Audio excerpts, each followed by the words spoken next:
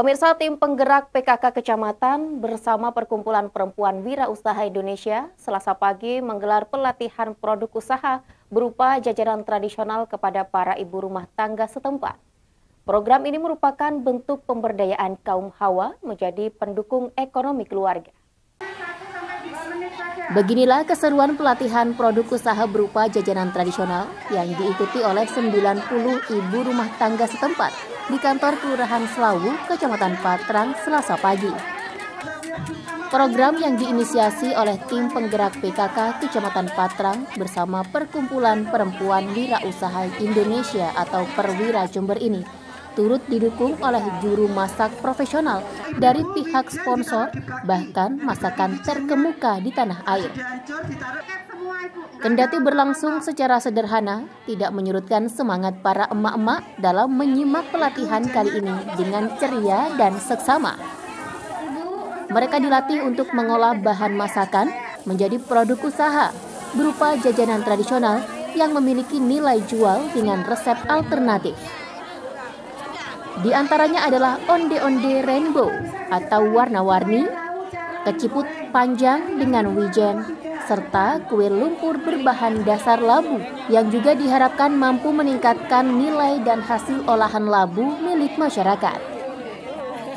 Diharapkan dengan adanya program ini dapat melahirkan ibu rumah tangga yang mandiri secara ekonomi maupun pendukung ekonomi keluarga Pasalnya, masalah finansial kerap menjadi persoalan dalam berumah tangga, bahkan berujung perceraian. Hari ini perwira datang ke Kelurahan Selawu.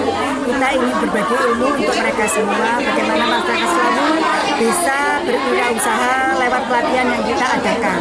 Eh, kita dari perwira mempunyai program. Tema program kita adalah membangun UMKM baru, sejuta UMKM baru. Bagaimana nanti orang-orang yang berlatih ini semua nanti bisa membuat suatu produknya dan kita bisa berjualan bersama dengan harapan semua menjadi wirausaha yang mandiri. Jadi pelatihannya adalah membuat unde-unde aneka warna atau apa atau unde-unde rainbow. Yang kedua membuat uh, labu dengan harapan eh, tanah-tanah yang di Selawu ini kalau misalnya membuat pertanian uh, pertanian labu, kalau tidak lagu bisa diubah menjadi lumpur labu. Membuat keciput. Kenapa kalau membuat keciput? Kalau keciput itu nanti kalau lebaran biasanya orang-orang suka saling berkunjung dan membawa sesuatu. Program ini disambut dengan sangat baik oleh tim penggerak PKK Kecamatan Patra. Selain untuk tujuan ekonomi, hasil pelatihan kali ini dinilai juga dapat menjadi pengisi waktu senggang ibu rumah tangga di kediaman masing-masing. Uh, Alhamdulillah, kami support acara-acara yang bisa memberikan manfaat untuk masyarakat. Diharapkan juga dari acara ini uh, masyarakat bisa lebih produktif ya Pak, karena di apa ya banyak sebenarnya ibu-ibu itu yang punya waktu luang yang banyak di rumah.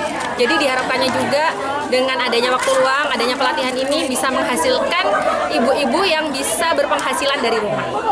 Saat ini peserta mayoritas ibu rumah tangga Bu?